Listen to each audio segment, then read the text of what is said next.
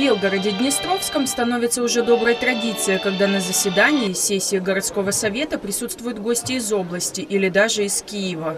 К примеру, на сессию, которая прошла 1 августа, приехала народный депутат Светлана Фабрикант и депутат Одесского горсовета Александр Шеремет. Прием местные депутаты оказали им теплый. Каждый считал своим долгом высказать свою точку зрения гостям и, конечно, доказать, что именно он прав. Словно малые дети, наши депутаты на разный лад призывали на помощь Светлану Самуиловну. Светлана Самуиловна, вот вы очень внимательно слушаете. Пользуясь тем, что на нашей сессии присутствует фабрикант Лариса Самуиловна, Светлана Самуиловна, я хочу сделать некоторые заявления Похоже, Игорь Гаврилович несколько перестарался, воспевая свои многочисленные заслуги перед громадой, чем изрядно повеселил собравшихся. Мне 73 год, я 30 лет, 30 лет в партии КПСС, да? Вот красная книжонка, как, как Маяковский говорил. 30 лет, я почти 70 тысяч взносов заплатил, это 100 тысяч долларов. Пожалуйста, проверьте, что я правду говорю. Я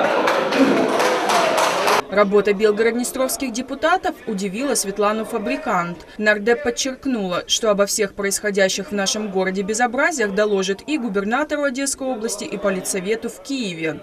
Безусловно, будут рассказывать э, в Киеве о том, как происходит э, сессия в Белгород-Днестровском, о том, какая царит атмосфера, и, может быть, придется, э, есть такой опыт уже на уровне города Одессы в отношении там, и совета, и мэра, и каких-то решений, может быть, придется приглашать сюда Киевскую комиссию для того, чтобы разобраться, и для того, чтобы действительно навести порядок, и чтобы вот такая ситуация никак ни в коем случае не будоражила город.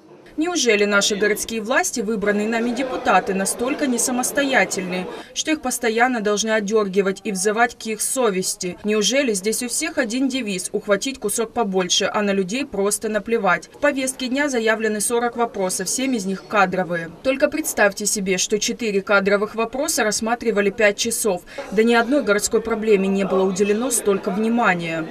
Очень удивительно, что на сегодняшний день на сессии городского совета выносятся в первую очередь вопросы политического характера. Не экономические э, вопросы, не вопросы, которые защищают интересы городской громады, а чистая политика. Стоит отметить, что 1 августа после пяти месяцев политических скандалов, дрязг и кулуарных интриг в Белгороднестровском горсовете дела сдвинулись с мертвой точки. Наконец-то у нас избрали секретаря горсовета. Им стал Владимир Мензелинцев. Теперь у нас есть и заместитель городского головы Татьяна Мунтьян. А вот кандидатуру Николая Клюшникова на пост другого заместителя городского головы депутаты не поддержали. В целом же атмосфера во время заседания была довольно напряженной. Стычки между депутатами и городским головой, бесконечные извительные реплики, шум и гам.